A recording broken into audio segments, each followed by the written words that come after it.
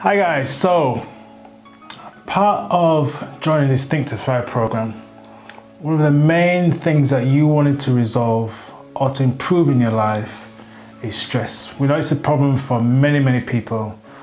Now, stress comes in many different forms, but we've put together a fun and helpful solution that's going to help you move through stress or at least become better at managing stress.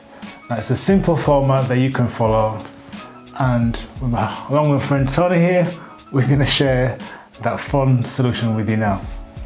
We certainly are. Are you ready? So, the solution we have for your stress problems, for the world's stress problems, is this help is at hand. Just remember that. Our 10 point stress buster help is at hand. So, what do we mean? We're going to run through the 10 letters that's going to help you understand how you can manage stress, become more effective at managing stress, and understand that moving forward, as you begin to think to thrive in a more convenient, more helpful way, moving you towards your dreams and desires, that stress doesn't have to be the thing that keeps you bogged down and keeps you sad and keeps you unhappy. So, we're to start. Number one, hold back. So, what do we mean by hold back? Now, often we as busy people, parents, husbands, wives, sisters, uncles, we struggle to say that key word, which is no. Someone asks you to do something, you say yes. Someone asks you to go somewhere, you say yes. You've got to be at this meeting, you say yes. So moving forward, you know, to help to reduce those levels of stress, you're going to start to say no. You're going to hold back. You're going to say no. I can't really do that right now. It's going to just ease and take out that tension of you having to be and doing everything all the time. Just learn to say no. It's a powerful word, and sometimes you might feel guilty, but just learn to say no. okay. Number two, straightforward, but it really does help. Now, I'm not going to go into huge detail, but obviously, when you do exercise, exercise pr produces a form of stress on the body. But in the right way, in a consistent way, that is a beneficial stress that's going to help to strengthen your body, it's going to release energy as well as produce energy to help move away that stress that you maybe have in your body at the moment. So if you're not exercising, get out and start doing some form of exercise. It doesn't have to be anything overly stressful. Get out in the um, countryside, go for walks, go for a bike ride, swim, take the dog out. Anything that's going to help to move your body is going to help to uh, create um, energy and it's also helped to reduce stress as well. So, exercise. So Mike's covered the H and the E in the word help, and I'm now going to cover as best I can with these uh, with these fingers.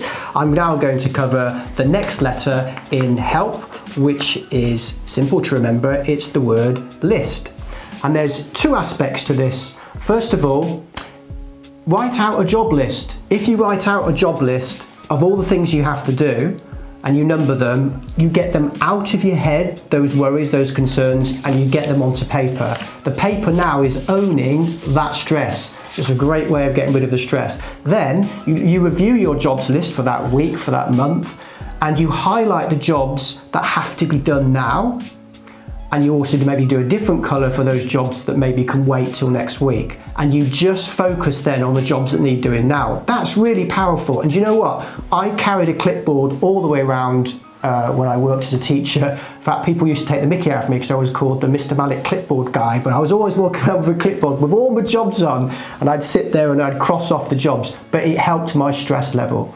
The second aspect of list is try to find time to go outside, get a piece of paper and write down a list of things that you can be grateful for.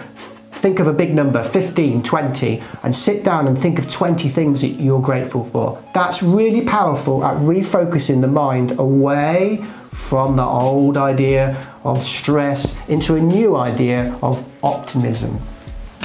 The next letter in help, which I'm going to cover, is the letter P and that stands for process. Now, Mike and I have got a three stage process to share with you now, which we use to help ourselves combat stress. And I want you to try and remember this. Watch this video again and again, and you'll, you'll remember it. A three step process. So, first of all, you're at work, you're at home, wherever you are, and you feel yourself starting to get a bit tense in the muscles in the neck. What you do is you catch it with a three step process. One, catch it.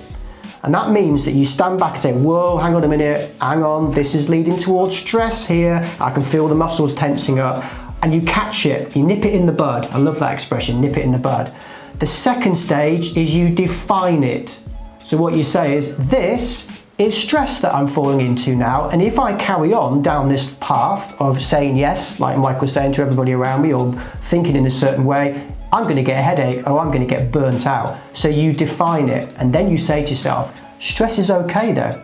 Stress is actually part of me as a human being, but it's left over from an ancient time when we were geared to run away from lions and tigers and we were able to survive stress for short periods of time. In the modern world, stress prolonged over a long period of time creates disease and it creates headaches. So it's not good over a long period of time. So you define it so we started first of all by catch it, define it, and the last bit is you you you withdraw. And what you what I mean by that is you just imagine yourself floating up into the ceiling or the sky, looking down on your situation, and just observe. Oh, look at Tony there. He's getting all worked up. He's doing 10 jobs in that afternoon. Doesn't, does he really need to do all those 10 jobs and get himself worked up? You know what's going to happen tomorrow, Tony? You're going to get a headache. You're going to get stressed out. So you, you observe yourself. So powerful at just detachment. So that's my two. And we're up to uh, uh, the A. The A in, um, oh, we're A into the A of at. Ancient arts. Sounds intriguing, and it is kind of, but it's going back to ancient practices that helps to alleviate and combat stress. So we're talking about things such as meditation, mindfulness, relaxation. So let me ask this question to you. When was the last time you practiced any kind of mindfulness? When was the last time you had a meditation I went for any kind of meditation? It could be a meditative walk, so necessarily first thing on the morning, sat down for half an hour. It could be going out, thinking nice, relaxing, calming thoughts, listening to music that will help you to relax. Practice the ancient arts on things like meditation, yoga, being kind to yourself, mindfulness, and that will significantly reduce the amount of tension, not only physically feeling in your body, but mentally as well. So that's our tip on ancient arts. Secondly, coming on to this one, I know Tony likes to do this, but it's one thing that we should do more often, especially in a constructive way. I'm not talking about chattering and gossiping, I'm talking about talk. The saying goes, a problem shared is a problem halved. And I do strongly believe that. You know, if you have an issue, what we have um, issues, we all have issues, but if I have something that's bugging me or something I can't quite get my head around, I know that Tony's only at the end of the phone. I can call him and he's gonna give me a solution.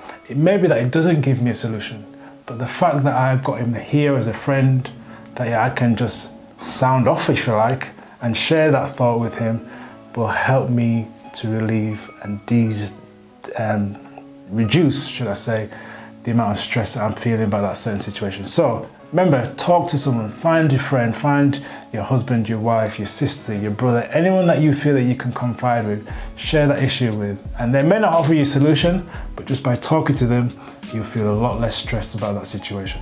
Absolutely, Mike, and you'll release oxytocin chemicals inside the brain, which will actually make yourself feel better and here's another cool tip, Mike, is use eye contact. There's now research that say if you look into somebody's eyes when you're talking for a prolonged period of time and listen to what they're saying, build that social connection, it's incredibly good for your health and it's massively important for your stress levels. We are on to